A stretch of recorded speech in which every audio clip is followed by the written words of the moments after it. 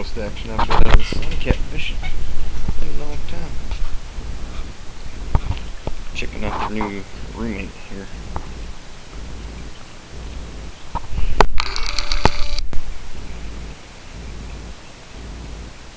As you can see, he's happily acclimated now, cruising around the tank. Sun cats are checking him out, especially the big one. I don't think they're too sure of this guy. Iridescent shark. Kinda lurking around the bottom, usually swimming around the top. He seems to like the current of the big filter. It's been circling on this half of the tank. Look at that. He's got some color coming through now that he's uh, calmed down and well acclimated. Starting to see some gold on his side there. He was a lot more pale when I first put him in. Check out the other video.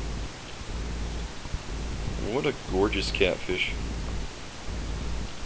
Can't believe catfish have such a bad reputation for being bottom dwelling, poop eating animals. Look at this guy. Nobody could look at that catfish and tell me it's not just as gorgeous as a python snake or some of the other reptiles that you can get. And uh, in my opinion, this thing blows like any koi fish or discus or thing like that out of the water. And he's already over half grown. I want to see if I can push him to two feet though. I have a 600 gallon pond that I will be building very shortly. Probably within the next week. I'll get some videos up of that. And this will be its first inhabitant. And then maybe a little surprise will come to join him very shortly. And then once I move, planning on doing at least a 1200 gallon pond.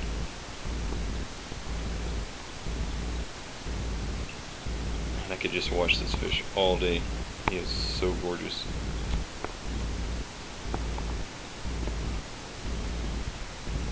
What a beautiful, beautiful fish.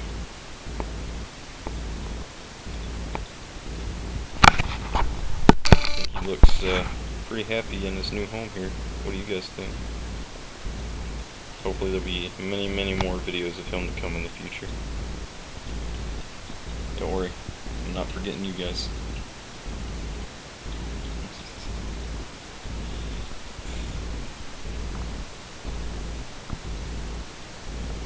I think he's a, just a touch longer than the iridescent shark. Can't really get the iridescent shark out to uh, compare. But he might be half an inch or so longer. And thing's definitely longer than the sun cats. I don't know, the big one. The big one might be close.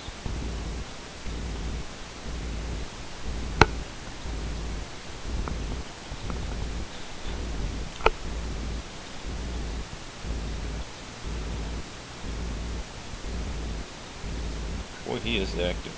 So calm when he was being acclimated.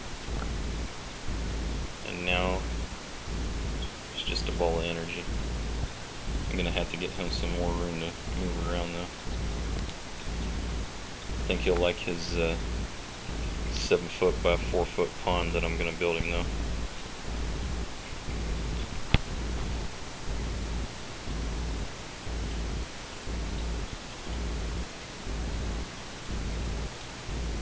may try to go a touch bigger than that if I can.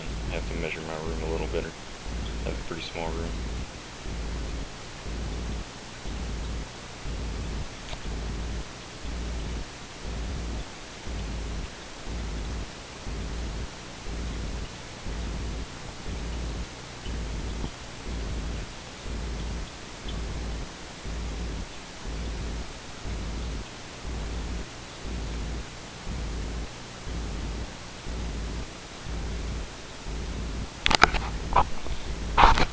Think I've uh, taken up quite a bit of video with this guy.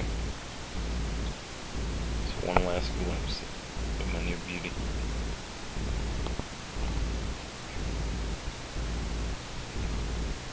Don't be taking bites out of my other fish. Okay? You've been warned. Be nice to him.